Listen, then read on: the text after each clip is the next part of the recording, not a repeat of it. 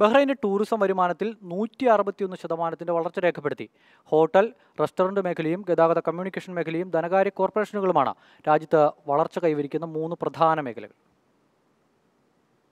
രണ്ടായിരത്തി ഇരുപതിനെ അപേക്ഷിച്ച് കഴിഞ്ഞ വർഷം ടൂറിസം മേഖലയുടെ വരുമാനത്തിൽ നൂറ്റി അറുപത്തിയൊന്ന് ശതമാനം വർധനവുണ്ടായതായി Bahrain chamber of commerce and industry report വ്യക്തമാക്കുന്നു. ബി സി സി ഐയുടെ കീഴിലെ സ്റ്റഡീസ് ആൻഡ് ഇനീഷ്യേറ്റീവ് സെന്ററാണ് പ്രാദേശിക സമ്പദ് വ്യവസ്ഥയുടെ അവലോകനം രണ്ടായിരത്തി ഇരുപത്തിരണ്ട് ആദ്യപാദം എന്ന റിപ്പോർട്ട് പ്രസിദ്ധീകരിച്ചത്.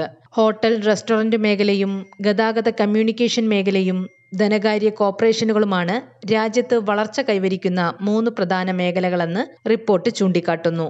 മൊത്ത ആഭ്യന്തര ഉൽപാദനത്തിൽ ഏറ്റവും കൂടുതൽ സംഭാവന നൽകുന്നത് ധനകാര്യവും ഇൻഷുറൻസുമാണ്.